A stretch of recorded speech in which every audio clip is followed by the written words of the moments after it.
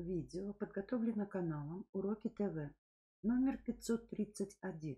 Запишите текст в форме диалога, расставляя пропущенные знаки препинания и подчеркивая имена собственные. Прочитайте вслух записанный диалог, выделяя его реплики, интонации. Придумайте и запишите фамилии, связанные с вашими делами, занятиями, играми. Придуманные фамилии, как и прозвища, могут быть смешными, но не должны быть обидными. «У нас какая фамилия?» – спросил Ваня. «Как какая?» «Ты что, не знаешь?» «Державина». «А вот и нет», – воскликнул хитро Ваня. «А какая же?» – удивился брат Коля. «У нас у всех разные фамилии. Мы с дедушкой копали картошку. Мы были картошкиными. А бабушка вязала носки.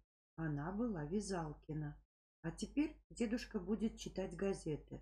Он будет Газеткин. А еще дедушка за день был пчеловодов, топоров, дровосеков, печников, землекопов, столяров. Все засмеялись, и игра в фамилии продолжалась целый вечер. Придумаем фамилии. Пастерушкин от слова «стирать». Почитайте от слова «читать». Погремушкин от погремушка. Мешалкин от слова «мешать». Трудягин от слова «трудиться». Игральщиков или Игрулькин от слова «играть». Училкин от слова «учить».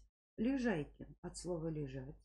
Бездельников, Музыкальников, Звонилкин, Чертильников, Гулякин, Мечталкин, Свистульников, Печалкин, и даже бегалки.